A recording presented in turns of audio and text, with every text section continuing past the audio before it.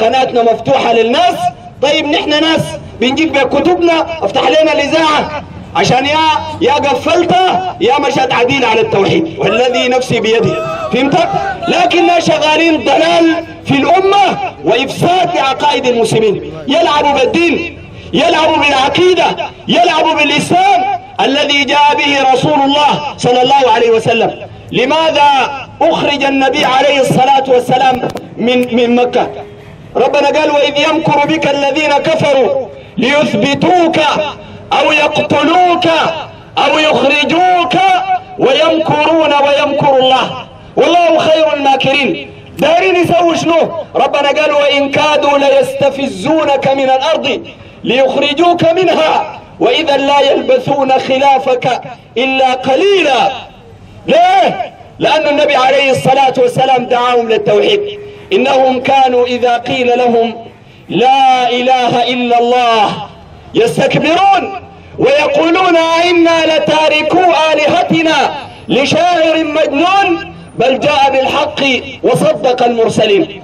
مشينا العباسية الأربع الفات حامد بابكر قال لهم يا ناس دارين الوهابية مننا. إنه نعبد الله براو كده بس. ما في أي واسطة. يا ناس الكلام ده أبو لهب قالوا. أبو جهل قال الكلام ده. قال دارين نعبد الله براو وربنا سبحانه وتعالى يقول وربنا سبحانه وتعالى يقول واسأل من أرسلنا من قبلك من رسلنا أجعلنا من دون الرحمن آلهة يعبدون. ربنا سبحانه وتعالى قال ألا لله الدين الخالص؟ والذين اتخذوا من دونه أولياء ما نعبدهم إلا ليقربونا إلى الله زلفى. إن الله يحكم بينهم فيما هم فيه يختلفون. إن الله لا يهدي من هو كاذب كفار. الليلة تعال شوف الكتب بتاعت الصوفية. أي حاجة حقت ربنا سبحانه وتعالى الدول الأولياء بتاعينهم. وده حق الطرق كلها. كل الطرق كده. عرفتها؟ تمشي الطريقة القادرية. دول تابعين لهم ناس كتار. صقاب وما عارف ليك مين. آه بيجاي والبدر وما عارف ليك بتاع مين ومين. كلهم تابعين للقادرية. كتاب بيبيعوه في الدار السودانية للكتب. فهمت؟ هنا بيجاي جنب مغابر الأتراك. شرقة طوالي. تشتري الكتاب آلاف أو عشرة ألف فهمت؟ يبيعوا لك كفر بالله. يطلعك كافر بثلاثة شرطان. والذي لا إله إلا هو. فهمت؟ يجي يقول لك قال أنا كنت مع نوح أشاهد في الورى ده الشيخ بيتكلم عن نفسه. وربنا قال ولا تزكوا أنفسكم هو أعلم بمن اتقى. ما تزكي نفسك. فهمت؟ إلا إذا جاءت آية وحديث تزكيك. معلش ده قال وكنت مع إبراهيم ملقا بناره وما برد النيران إلا بدعوته. وربنا قال قلنا يا نار كوني بردا وسلاما على إبراهيم. قال لا لا لا. نار إبراهيم دي طفينا نحن زي ما قالوا الختمية. قال نار الخليل طفت من سر تفلتنا يا زول انت خشمك ده فنطاس بتاع مطافي ها؟ قال طفى نار إبراهيم عليه السلام. وكذاب ما بتقدر ما بتقدر تطفي نار إبراهيم. ربنا سبحانه وتعالى قال قلنا يا نار كوني بردا وسلاما على إبراهيم. قال وكنت مع راعي الذبيح فداءه وما نزل الكبشان إلا بفتوته. يعني ربنا سبحانه وتعالى استفتى الشيخ الطريقة القادرية. قال له إبراهيم ابتليناه بذبح ابن إسماعيل. وما عارفين نعمل له شنو. ده لازم منه اتهام رب العزة والجلال بالجهل وهذا من الكفر الأكبر الذي ما قال به أحد من من الخلق. فهمت؟ إلا من اليهود. ولذلك يواصل في كلامه يقول وكنت مع, مع وكنت مع موسى مناجاة ربه وموسى عصاه من عصاي استمدته. أنا كنت مع إدريس لما ارتقى العلا وأقعدته الفردوس أحسن جنتي أنا كنت مع داود قال أنا كنت مع عيسى وفي المهد ناطقا وأعطيت داودا حلاوة نغمتي أنا الذاكر المذكور في كل مضمر. أنا العاشق المعشوق في كل نعمتي أنا الواحد الفرد الكبير بذاته. أنا الواصف الموصوف شيخ الطريقة. قال وما قلت هذا القول فخرا وإنما. أتى الإذن كيما تعرفون حقيقتي. قال أنا لاسي متواضع. أنا الله لكن متواضع. الكتاب بيبيعوه هنا في الدار السودانية للكتب. فهمت؟ تمشي لكتاب طبقات الشعراني المسمى بلواقح الأنوار في طبقات الأخيار. تأليف أبي المواهب عبد الوهاب الشعراني. قال عن شيخ اسمه محمد الحضري قال يوم سألوا الخطبة قالوا له تعال اخطب لنا يوم الجمعة. قال فصعد المنبر. وقال بسم الله والحمد لله أشهد أن لا إله لكم إلا إبليس عليه الصلاة والسلام. ده محمد الحضري مدح البرعي قالوا سيدي الشعراني الناشر لعلم الله. ده ناشر للكفر والزندقة والضلال. دول يقول أشهد أن لا إله لكم إلا إبليس. وبعد ذاك يقول عليه الصلاة والسلام ده ما كافر فهمت كتاب يبيعوه في الدار السودانية للكتب أكبر دار لطباعة ونشر الكتاب العربي في العالم الإسلامي. طف على الدار وعلى جاب الكتاب من مصر وطف على طبعوا والجلدوا والشال في ظهر فهمت ده كلام كفر بالله سبحانه وتعالى. يقول لك يقول لك الشيخ الشيخ بيخلق مع الله سبحانه وتعالى. دي عقائد الطرق كلها ولذلك محمد منتصر بيجيبوه في الاستوديو يجيبوا له غرفة مكيفة والكاميرا قدامه كويس وبيتصلوا عليه ناسه يقول لهم الرقم ده ارفعوه والرقم ده ما ترفعوه يكون طبعا يقول إيه ابونا الشيخ آه محمد الازيري رأيك شنو في منادات الأولياء؟ يقول لك آه ما في حاجة. آه عادي تقول مدد ونظرة آه وما في حاجة. وربنا قال يوم يقول المنا... ده دليله. يوم يقول المنافقون والمنافقات للذين آمنوا انظرونا نقتبس من نوركم. ده دليلك ها تستدل بكلام المنافقين. وربنا قال إن المنافقين في الدرك الأسفل من النار. فهمت؟ يستدل بكلام المنافقين. في الاستوديو تلقاه قاعد يحلل الشرك والبدع والضلالات.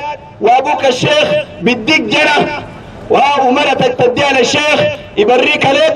يا زول هوي أنا ما مرتي دي ما أنا قلت لك دايرة شمبر عشان الشيخ يبريك عليه أنت موهوم في مخك. وإنت لو بليد إنت لو بقيت مشرك وبليد أمشي يوديها للشيخ والله يطلع عليك بها تستا يرجع لك مطفشة طرمبة. وعلى كيفك؟ أنا مالي ومالك. والله جد تقعد تقعد تباري شيوخ تقعد تباري الأولياء بتاعنا الدول ولذلك ليه بابي عقائد الأمة؟ فهمت وصلوا الكلام ده في كتبهم. الكلام ده بينشر جوا لكن لما نجي نقول له دايرين مناظرة بيحرق حمد بكر مشينا له في العباسية ببرطع من يوم الرابعة العيد كوري اوه وين الوهابية؟ ولا لا؟ وما بنخليكم. والصلاة ما بتجوز. ويكوري لما جاء صلاة الظهر قبل يوم قال داير مناظرة. لما عرفنا إنه جينا فهمت؟ ووصلنا البلد عمك دار يزوق قال يا إخواننا طبعا الناس ديل زاغوا مننا. اخونا متبع كان قاعد فهمت؟ دي الغواط الخاصة. فهمت؟ دي ال CIF فهمت؟ national intelligence سلف Salafism ها؟ وكالة الاستخبارات السلفية. طوالي قام له فوق. قال له انت مش قلت يعني إحنا هربنا؟ اي. هذا نحن. قال له دارين معك مناظرة. ده بقى يرجف حامد بابكر بترجف مالك؟ انت مش قلت داير معانا مناظرة؟ ما تلاوز قال هاي داير قال له في شنو؟ قال له في الشركة اللي نشرته قام حرش الدراويش طردوا أخواننا. قلنا له صلاة العصر جايينك صلاة العصر عملوا لهم تمثيلية. وقالوا يا أخواننا ما تسمعوا للناس ما أنا خايفين شنو يعني؟ ما قلت ديل شباب صغار وأغمار وحجار وكذا. ما تجيف أنت مالك؟ يعني إحنا شايلين شيطان فهمت؟ ولذلك يا صوفيا مشكلتكم دي إحنا معانا ما بتتحلى لغاية ما تخلوا الشرك بالله. قد كان لكم أسوة حسنة في إبراهيم والذين معه إذ قالوا لقومهم إنا براء منكم ومما تدعون من دون الله كفرنا ومما تعبدون من دون الله كفرنا بكم وبدا بيننا وبينكم العداوة والبغضاء ابدا حتى تؤمنوا بالله وحده. والله لو بقيت أبوي ولا لو بقيت حببتيه أنا مشكلتي معاك قايمة. مش عقايدك قاعدة؟ عقيدة صلاة الفاتح إنها تعدل القرآن. التجارية عندهم عقيدة صلاة الفاتح تعدل القرآن ستة ألف مرة. تعدل كلام رب العزة وربنا يقول ومن أحسن من الله حديثا. ومن أحسن من الله قيلا. الله نزل أحسن الحديث كتابا متشابها مثانيا تقشعر منه جلود الذين يخشون ربهم ثم تلين جلودهم وقلوبهم لذكر الله. القرآن ربنا سبحانه وتعالى قال ولو كان من عند غير الله لوجدوا فيه اختلافا كثيرا. فهمت؟ بعد إيه ها؟ ينشروا في الشرك وزول يتكلم فيهم ناس لما نحن نجي نتكلم ناس عندهم ورع بايد ولك ما تتكلم في دين. هذا ده شارع عقيدة الأمة عقائد فترانة جدا. الشيخ يقول لك الشيخ حصل الدرجة الكونية وأنه يقول لشيء كن فيكون. والكلام ده ما في الكتب في قناة النيل الأزرق في برنامج اسمه حلل البريق. جبهاجي مجرم يقدم هذا البرنامج. فهمت؟ أمشي أفتح بلاغ ذاته. الجبهاجي ده جاب آخر حاجة جاب اللمين بتاع تشيكسي حيرانو تشيكسي وبخرته جالكسي. جابوا في الاستوديو آه آه بعربية لكزس طبعا المذيع ما بكون داري ياكل طبعا. يجابوا في حلقة ذاك بياكل يقول له جبني. جبني طبعا بينجيهك ها الجهة شنو؟ فهمت؟ ده الطوالب بجيبه. ويقول لي أبويا الشيخ يا أخي عمره كم؟ 30 سنة. تقول لي أبويا الشيخ تقعد تتذلل لغير الله سبحانه وتعالى. الجبهجي ما مجرم. ده ممكن يبقى لك أي حاجة. يقول لك دعاء غير الله ما في حاجة. بيجوز. الشيخ يقول كن فيكون. أيوه. الشيخ حيران. ثاني في حاجة؟ هاي. الشيخ بيقول أنا الله هاي هاي مشروع له. ليه؟ لأنه داري يأكل باسم الدين. ولذلك ده المجامع أكبر من إجرام من يشرب البنجو والذي لا إله غيره. ديلك صح مجرمين وكده الواحد تلقاه طاير خارج الشبكة لكن في النهاية ده ضلاله ما زي ضلال ديلك.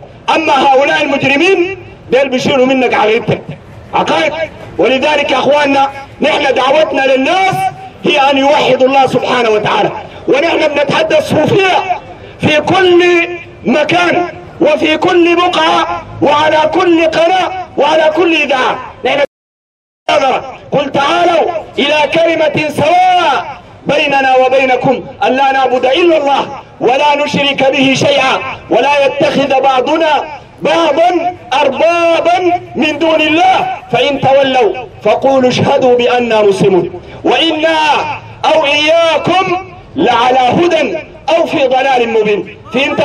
نحن دايرين معاكم نقاش علمي ونقاش يكون بالأدلة ونقاش يكون بالكتب عشان الشعب السوداني يعرف حقيقة الصوفية. نحن دايرين نحل مشاكل بتاعت عقائد بتاعت ناس الناس تمشي قدام لله ناس يبروا كل شيخ البرو يعلم الناس على الذلة لغير الله. قال أستاذك يا فقير كون عنده ذليل حقير له أتبعك الصغير. لا تميل ابدا لغيره. يعني أنت لو سماني ما تبقى مع آه مع مربي الغوم مربي الغوم شيخنا الجعلي الخلفاء الأس... الأربعة أثنوا عليه. صديق وعمر عثمان وعلي. وكذاب ساكت. أثنوا عليه وين؟ فهمت؟ لكن قال لك شفت لو أثنوا عليه الخلفاء الأربعة؟ ده كلام البرعي ده كلامي أنا كتاب لك سلام مني ونشره في جريدة الدار. كويس؟ يربيك. يقول لك أنا يا رجال الغيب. أنتم حصوننا. فما زال مسبولا على الناس ستركم. أيلحقني ضيم وأنتم حمايتي؟ وألهث عطشانا. وقد فاض بحركم فحاشا وحاشا. أن تضيع عيالكم وأنتم. شوف الكلام ده كيف؟ كتاب رياض الجنة ونور الدجنة لعبد الرحيم محمد وقيع الله قال فحاشا وحاشا. أن تضيع عيالكم وأنتم عيال الله والأمر أمركم إذا شئتم. شاء الإله وأنكم تشاءون ما قد شاء لله دركم يا أخواننا هذا الكلام بلغ من الكفر مبلغا عظيما. لأنه قال مشيئة الله بعد مشيئة الأولياء. لأنه جاب إذا أداة شرط أنت ما بتفهم ولا شنو؟ واحد يقول لك لو ما فهمت كلام الشيخ الشيخ ده بيكتب عربي ولا سرياني؟ فهمت؟ بيتكلم مع الدبرك مش بيتكلم معانا بلغة عربية؟ اي قال اذا إذا دي شرط والكتاب بتاع رياض الجنة كل اشعاره ما بالسودانية كلها باللغة العربيه قال إذا شئتم شاء الإله وأنكم تشاءون ما قد شاء لله دركم. معناه الآيات ربنا سبحانه وتعالى قال فيها ها وما تشاءون إلا أن يشاء الله رب العالمين في سورة التكوير. ربنا قال وما تشاءون إلا أن يشاء الله. إن الله كان عليما حكيما. يدخل من يشاء في رحمته. والظالمين أعد لهم عذابا أليما. بعدين ربنا سبحانه وتعالى لما يحكم أمر لا البرعي بينقضه ولا الكباشي بيفسده. فهمت؟ ولا الركاني ولا شيخ عمر اللمين بتاع الحنة ولا غيره. ربنا سبحانه وتعالى قال والله يحكم. لا معقب لحكمه. وهو سريع الحساب. عشان كده ربنا قال قل من رب السماوات والأرض؟ الآيات دي فيها تحدي. الأولياء دول ما بيسووا حاجة. البرع يقول لك الأولياء الشيخ اسمه تت مرته قالت له دايرة دايرة لي خادم. شال له توب فاس قطع شجرة على قدر قامة إنسان عود وغطاه. وشال السبحة قال قال أذكار معينة فتحولت الشجرة إلى إنسان وخدمتها عاما ثم توفيت. يقول لك رضي الله عنه. ربنا قال في آخر سورة الحج الصفحة الأخيرة فوق. ربنا قال يا أيها الناس ضرب مثل فاستمعوا له. الغنى بتاعت الخضراء بتاعت محمد المنتصر. عشان كلنا نلبس نلبس مرقوعه ونشيل معانا ابريق فوقه 7 كيلو بتاع طحالب فهمت ونجي نشتغل معاك. سخنا خلاص جيبوا الفتة. اعمل لنا الكلام ده. ده تحدي من الله. ربنا قال يا أيها الناس ضرب مثل فاستمعوا له. إن الذين تدعون من دون الله لن يخلقوا ذبابا. ربنا يا محمد منتصر. ما قال لك أعمل بخيتة. ولا قال لك أحيا عفيشة والدبكر في طبقات والضيف الله. ولا أحيا بنت الرئيس. فهمت؟ لا ما داير تحيي ناس. ربنا قال لك ضبانه الغرطبي قال ربنا تحداهم بالضبان لأن الضبان كثير وحقير وصغير. ربنا ما تحداه بحاجة كبيرة. ربنا قال لن يخلقوا ذبابا ولو اجتمعوا له في قناة الخضراء دي جيبوا لنا مباشر. الآن الاجتماع الأول لصوفية السودان أو صوفية العالم. الطرق كلها جيبوا. فهمت؟ ونحن كمان ممكن نأجر لكم الاستاد لو الغنى ما شالتكم. والله نأجرها لك عشان الاجتماع يشيلكم. ونأجر لك أي حاجة. فهمت؟ نأجر لك عشان تجي تورينا ربنا سبحانه وتعالى قال إن الذين تدعون من دون الله لن يخلقوا ذبابا. ركز معي هنا. ده آيات سواقع من رب العالمين سبحانه وتعالى. خليك خليك كورك فهمت؟ ركز معي هنا. ربنا سبحانه وتعالى قال لن يخلقوا ذبابا. الحمد لله إن إحنا ربنا حامينا. ربنا قال إن كل نفس لما عليها شنو حافظ ما تخاف ما تخاف يا زول. خليك قاعد في محلك. ويا شباب أي زول يقعد محله؟ ما تخربوا الحلقة يا أخي الله يهديكم. أقعد. ربنا ركز معي يا أخي الله يهديك. أقعد تحت يا أخي ما تخرب الحلقة. ربنا سبحانه وتعالى قال لن يخلقوا ذبابا ولو اجتمعوا له. جيبهم كلهم. الازرقاء بتاعين العرفون البرعي الختمية بتاع الحنة كلهم جيبوا جيبوا من في الاستاد. ربنا سبحانه وتعالى قال لن ولن ده دي من أدوات نصب الفعل المضارع. لن يخلقوا ده الفعل المضارع. منصوب بلن بتاعته يفيد الاستمرار لن يخلقوا ذبابا ولو اجتمعوا له وإن يسلبهم الذباب مش يخلقوا ضبانه وضبانه جات مفرد واحدة بس. ربنا قال الضبانه دي لو أكلت من أكل أبوك الشيخ. أبوك الشيخ تلقاه قاعد كده والحوارين بيحبوا له خايفين منه. الضبانه دي موحدة أنت ما عارف؟ الضبانه دي تختف من أكل أبوك الشيخ. وأبوك الشيخ مخوف الحلة كلها. الضبانه ما بتلاوز من أبوك الشيخ. تاكل منه. وما بتجي تقول له أبوك الشيخ عازمني. بتسلب سلب تعرف السلب؟ السلب ده النزع بقوة. دي آيات من ربنا سبحانه وتعالى. ربنا قال وإن يسلبهم الذباب شيئا لا يستنقذوه منه. ضعف الطالب والمطلوب. ما قدر الله حق قدره. إن الله قوي عزيز. عشان كده الآيات دي دي من الآيات الصواعق والآيات الواضحة. آه. التي آه التي بين الله عز وجل فيها التوحيد في القرآن. وأنا أقدم أخونا الشيخ أبو بكر يواصل في هذه الآيات الماتعة من من كتاب الله سبحانه وتعالى. نحن هسه شفت الباسورد بتاعنا هنا إلا آية وحديث. متحة ما بتخش شعر ما بيخش. إلا في آية هنا ولا حديث نحن بنسلك معك. لكن لو في أبويا الشيخ طار ولا ركة ما بتحلك. وين شيخ أبو بكر؟ فهمت؟ أبوك الشيخ ولا غيره ده كله ما بينفعك فهمت؟ تفضل